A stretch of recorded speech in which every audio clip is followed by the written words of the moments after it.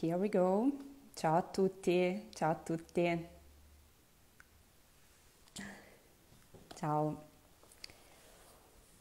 Ok, parleremo di champagne, parleremo in inglese.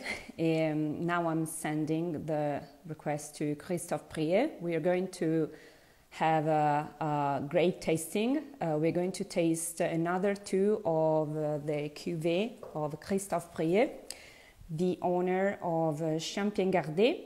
And now I'm inviting him to join with us. All right.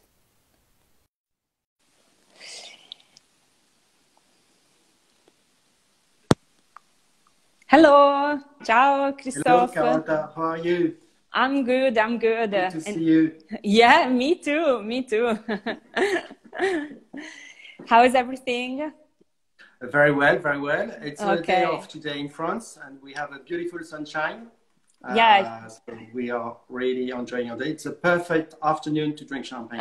Yeah, that, yeah. That, I was just wondering, what could be better than a glass of champagne in the afternoon? That's great.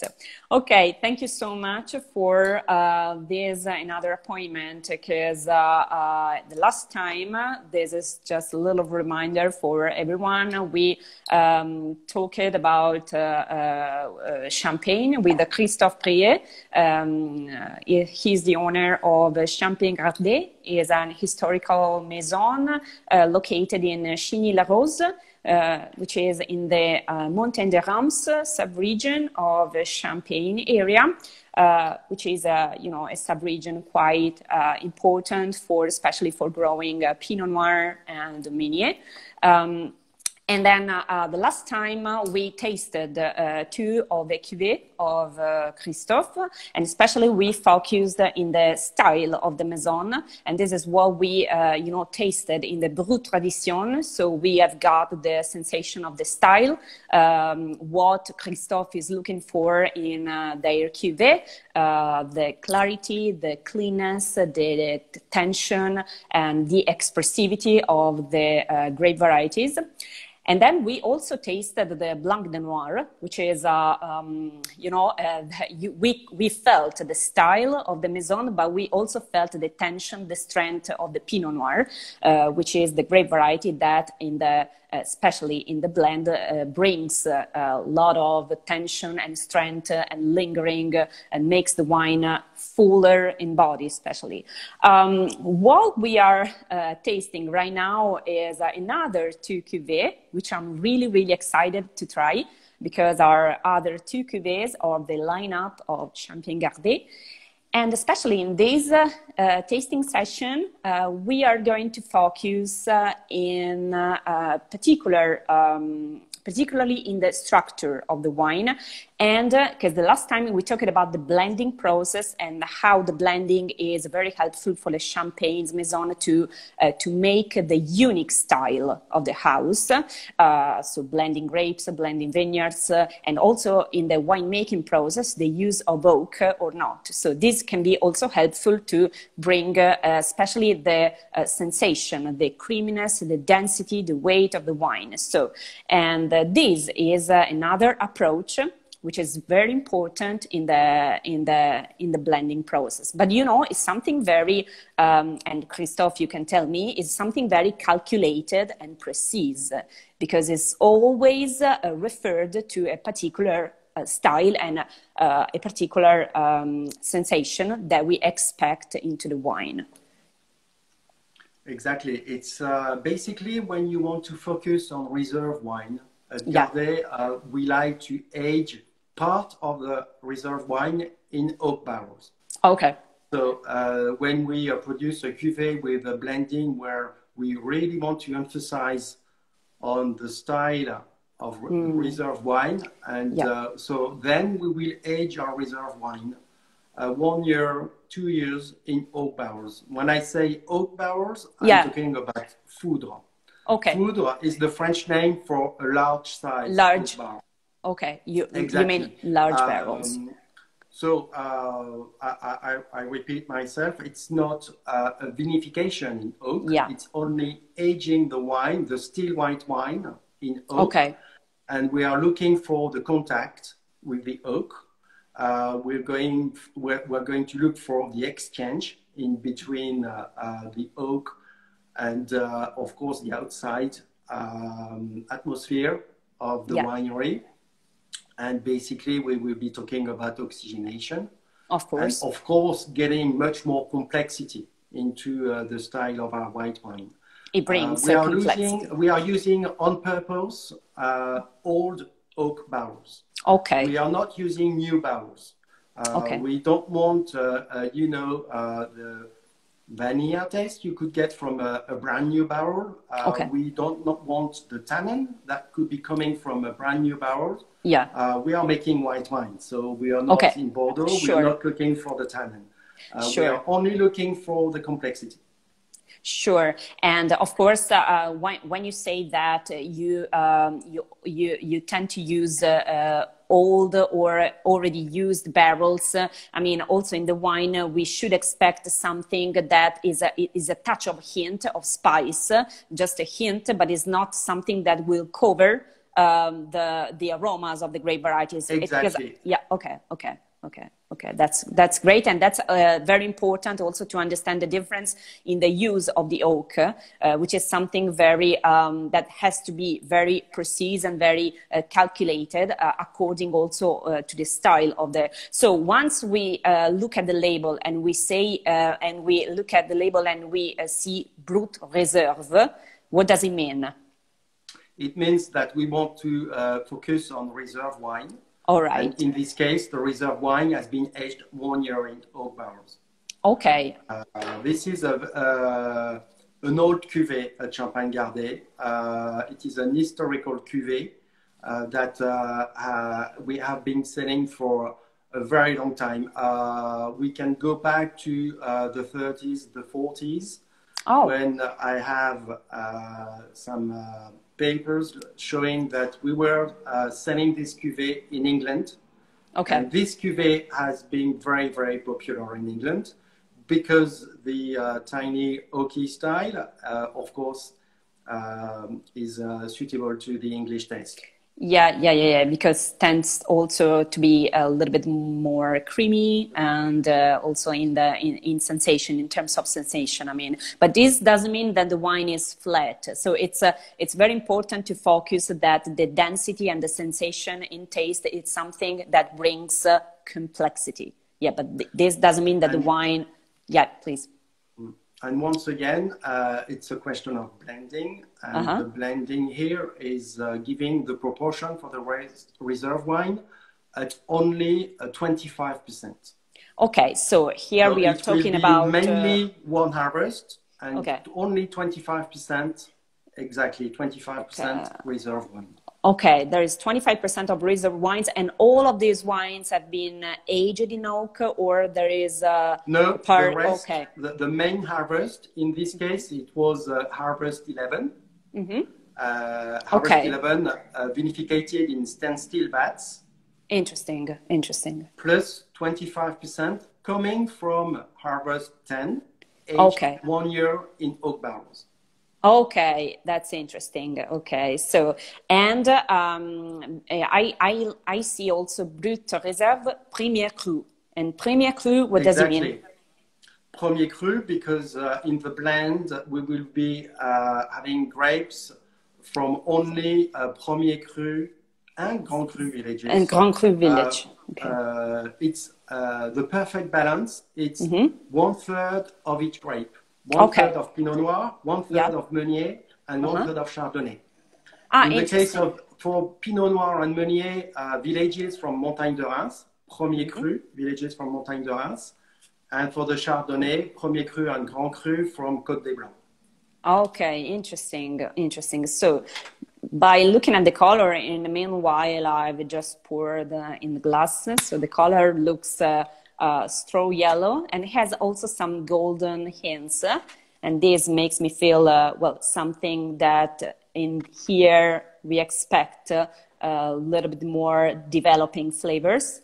And uh, um, that's something that um, the perlage looks uh, amazing. Very, very small bubbles here. and also tends to be uh, to comes up very very slowly. Now I'm smelling now.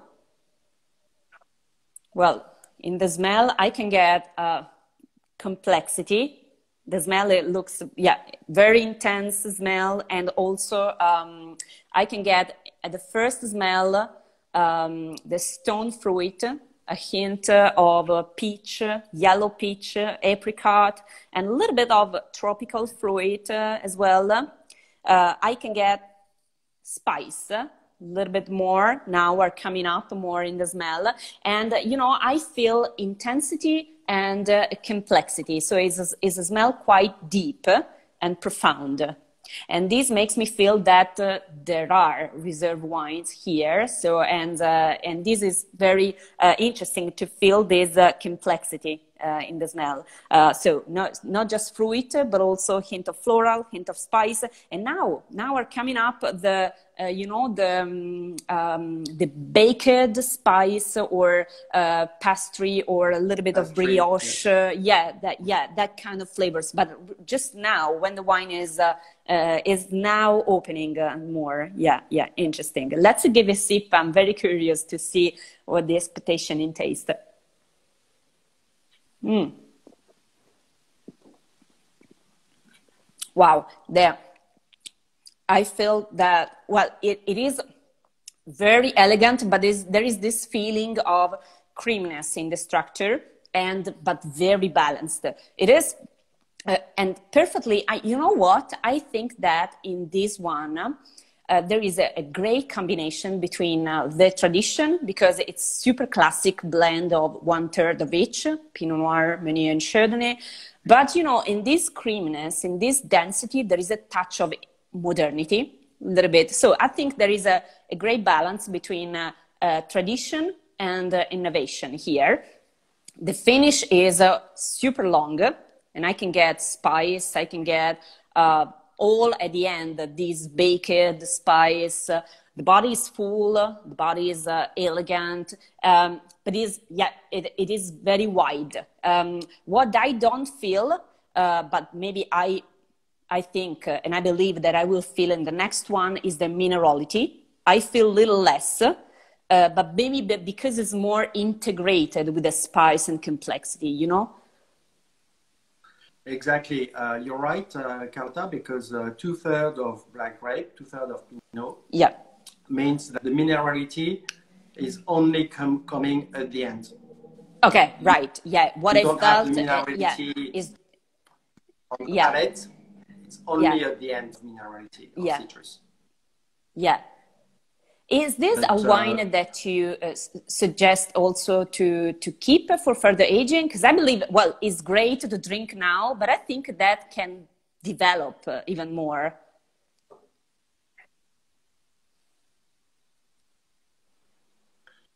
You know, this wine has uh, been already almost 10 years in our cellar. Mm -hmm. wow. Leaving the bottle with contact with the lees so wow. the maturity of this champagne uh, is already there, and you can you can feel it. So of course, yeah, yeah, yeah, of course. Depending on your taste, you can carry on aging this bottle another two, three years with no problem at all. We think after ten Definitely. years aging on the lees, it's time to drink it. I think it's a, it's beautiful. It's a, yeah, it's uh, it's great. But it's best now.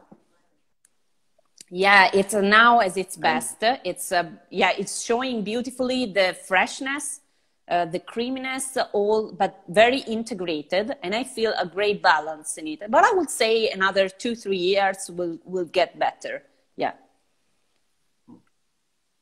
Exactly, and uh, the oak is the it's not what is dominant the taste. It's here. No, right. It doesn't take over. You. Yeah yeah, it's here to bring, uh, to enhance the flavors uh, of the, the grape varieties, which are now very well developed. But it's, uh, it's you know, the oak is a tool, uh, is a tool that helps exactly. to enhance the flavors and to make these flavors better integrated themselves. So it's very important also the, the use and the finesse of the use of oak here, which is absolutely fantastic. So it's, uh, it's not overpowering. It doesn't take over, but it's uh, there. You can taste it, you can smell it, and you can feel it. But it's, uh, it doesn't it doesn't take over it doesn't be it, it's not gonna be overpowering so it's a it's a it's a great wine with a great balance i mean yeah wonderful.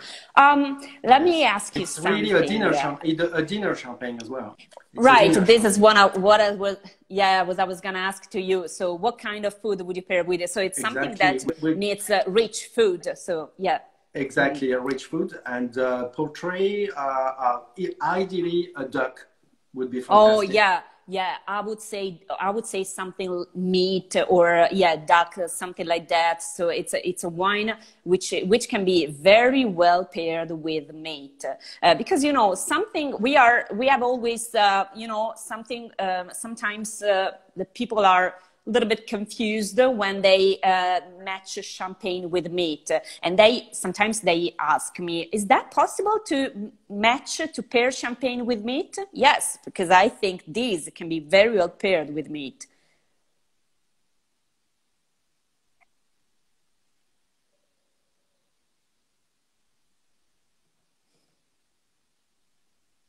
mm-hmm. Exactly. You can actually a whole meal pairing with Yeah. champagne, uh, and you Right, exactly.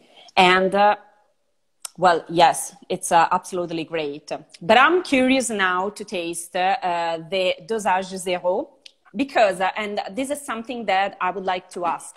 So, um, technically, what does it mean dosage zero for first, and how the dosage can um, improve the uh, flavors of uh, the, the, the wine, and what, the, what do we expect in a dosage zero uh, in terms of tasting? well, you know that naturally in champagne, uh, the on the ground is very poor. It's made of chalk, the Mhm. white stone, and uh, this means that champagne. So uh, also the Okay. Is naturally quite important in our Okay. juice, and of course in our Yeah. Uh, So ideally, to balance the Mhm. minerality and this natural acidity, we have used to add a little sugar just after disgorgement. Compensate Yeah. naturally this acidity. That's what we call the Sure. liqueur. That's what uh, we call the dosage.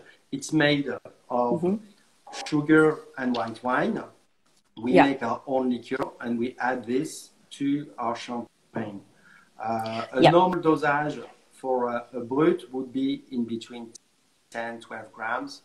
If you you have a low dosage for a brut champagne, it would be 8 grams. That is our Mm-hmm. case for brut tradition. Yeah. 8 grams. Yeah. In the case of Yeah. Mm-hmm. brut reserve, we have just tasted. It was only grams per liter.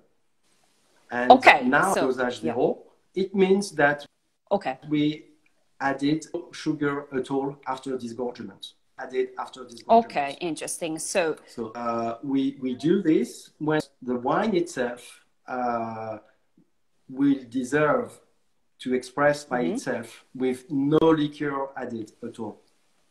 interesting. So, So yeah. the, the, the, this is very important to understand. So the small amount of uh, sugar added will determine uh, how the wine will be labeled to the consumer. So brut, extra brut, demi-sec, or dosage zero are always related to the to the residual sugar of the wine. So if it's dosage zero means uh, no sugar added at all. But it's also in this case, I think that the uh, you know the adding sugar is another tool to compensate the balance of the wine, which is very important to understand because sometimes people uh, think that brut, uh, okay, I don't like brut because it's sweet. No, it's different. So it means that you add a little bit of sugar to compensate to uh, you know to and it's very important to achieve the balance of this wine so once you taste brut and also when i tasted when i tasted the brut reserve I didn't feel uh, six grams of sugar. I didn't feel uh, such a sweet or something like that. But it was something integrated, and this means that the wine works perfect in your mouth. So, and this is very important also once you do the dosage zero. Once you uh, don't, if you don't add sugar, this doesn't mean that the wine is good. So it, it means that uh, the, you, you decide to don't add sugar because this one, the wine is good as is it. And this is important to understand. So also the sugar, as the use of oak, is a tool in the winemaking process. And so I'm very curious to uh, taste this. So how is that made? Um, um, I'm, I'm, talking about the cuvee, uh, how the cuvee of this wine is made. So in this case, uh, we are only using reserve wine. Okay, uh, because, uh, Interesting. You, you would have two different approaches for uh, dosage zero. You could mm -hmm. have age three years that you would have yeah. with the normal dosage and with 0 mm-hmm. dosage. Uh, in our case, we think uh, zero dosage for a, a young champagne is not suitable. We think right. that you need to age your wine a little bit. So in this case, it's a blend of three different reserve wine, going back ah, to uh, seven, eight, nine years. Wow the reserve wine, and we have a special blend done on reserve wine. Three different years. And we have in total a majority of Pinot Noir by two thirds and one third of Chardonnay. Interesting. So it's Interesting. a wine that has been aged seven years, some reserve wine going back to 10 years. Okay, interesting. And what about the, the grape varieties in this wine, the dosage So two thirds of Pinot Noir and one okay. third of. All right, all right, all right. Um, this is interesting. So, and the, and uh, uh, let me know if I understood correctly. So, the uh, in this wine we have a, a, blend of different years, and in this case, the maturity of this wine uh, makes it good to don't add any sugar because this maturity exactly. is very important for yeah for the balance of the wine and this makes the wine good as is it exactly and okay. uh, there is one more thing uh, to add it's the, the fact that the reserve wine part of it has mm-hmm. also been aged in oak barrels interesting okay so that's okay. what is in common that's why we have these two champagnes together. Oh, Both of them have some reserve wine aged in oak barrels. So we all have, we always have a little oaky taste for uh, our low dosage or zero dosage. Okay, in both of them, we should expect a little bit more com- complexity in both, released by also these reserve wines uh, being aged in oak barrels. So let's uh, smell first. Well, you know what? In the smell here, I um, immediately got a little bit more minerality in the smell and a bit more of citrusy note, citrus notes, and um, kind of orange peel or something like that. This, I believe, is the Pinot Noir that brings these uh, flavors, more minerality, and um, yeah, I can get now a little bit more spice. But at first smell, what I've got uh, is the citrus, orange, uh, floral. And now, just now, I got the, the spice. So the, the, the hint of spice, but it's not a, uh, but is is a hint, a very is a touch, so that you just uh, feel once you move the nose. But no, no, it's not a deep smell. It's something very, uh, it's a touch, very elegant. Here, I can get more uh, minerality, but the nose exactly. also here is profound the same um, the same yeah is deep same as the other but with different flavors. And that's interesting so let's give a sip. Hmm. Wow. Totally different. You know what? Um, at first uh, what i felt so the, the previous one is wide. In the in the palate it's very wide in the mid here it's very tight. It comes uh, tight and it goes long, very, very long. That's, I believe, is the Pinot Noir that gives this lingering uh, in the finish. And uh, what I felt, uh, it is full body, the palate is complex. So There is a tension, strength, uh, which is more familiar of the Pinot Noir. And also here, afterwards, um, in the finish, once I once you swallow the wine, you get the minerality. But it's a little bit more intense than the previous one. The acidity is very bright and very long finish. Yeah. Exactly. You one one thing you say for the first thing. One thing you say you say it's very creamy. It's very as yeah. And It's very straight. Uh, it's very sharp. You, you don't have yeah right. This here is what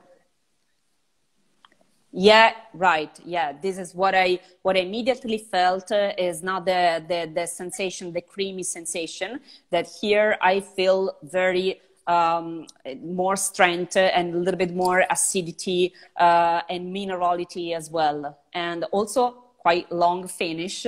And afterwards, at the end, comes again the spice and the minerality again. Well, you know, it's a, it's it's not an easy wine to pair. Uh, maybe more with seafood. This one, don't you think so?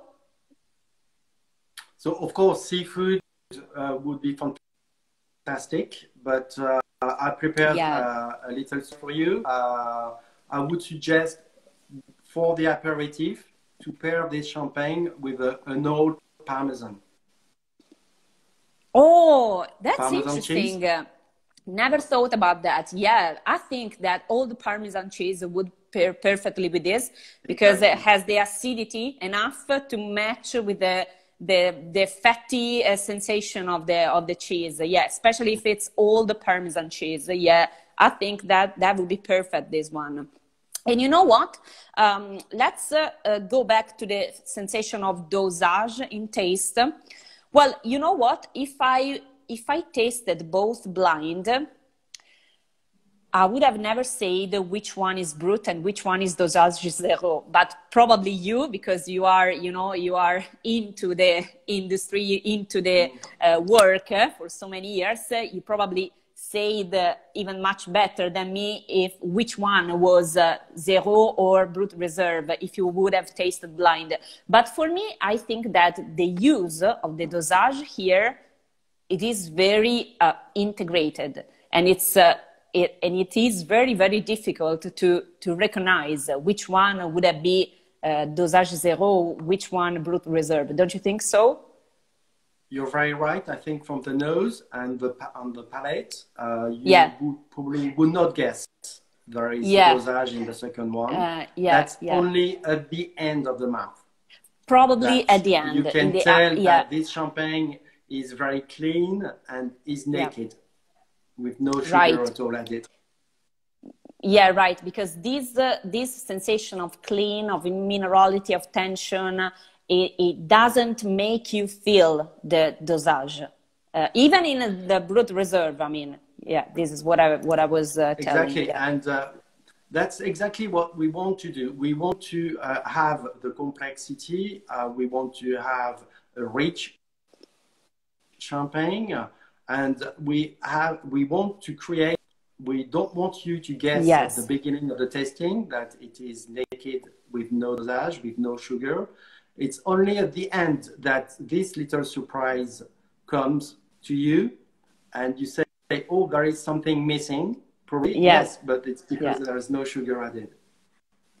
That is very, very interesting. Someone said uh, that uh, to match uh, this wine also with nice caviar, someone said, well, you know, caviar can be can be tricky because sometimes uh, when you taste uh, uh, caviar, you want to taste it uh, uh, pure, and of course, uh, you know, the, the, the traditional pairing is vodka and caviar because the vodka is very very pure and alcohol comes high and makes your mouth totally cleaned. Sometimes the caviar cannot be very good with champagne because, especially if the champagne has flavors, cannot not be uh, quite paired, quite well paired with the uh, sensation of the caviar because it's very, very uh, savory uh, and sometimes it doesn't work well with the flavors mm-hmm. of the champagne. I will go more with uh, uh, with seafood or like um, you know what, with shrimps, uh, something like that, uh, or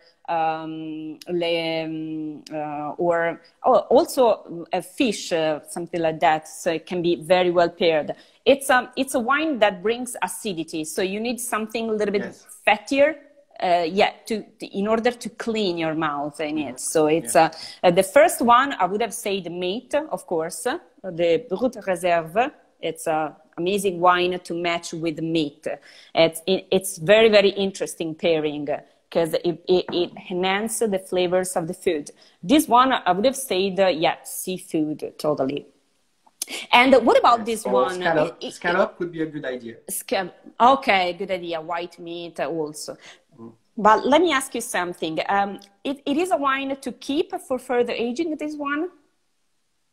Well, once again, it's been aged uh, now. Uh, it's been aging for seven years. But it doesn't seem. I mean, one, once when I taste this, I taste a lot of freshness, it, and it doesn't seem uh, aged aged so long. Also, also in this case, if I would have tasted blind, I would have never said that it has been aged for so long time.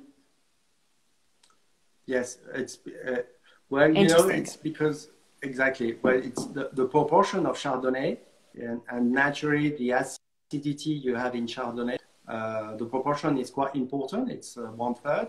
So of course it is helping this blend to age a little bit longer. To age. Exactly. Definitely. Exactly. Definitely. Yes. Yes. But again, another another two, three, four years in your own cellar.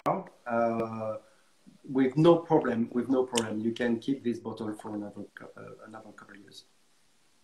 That's perfect.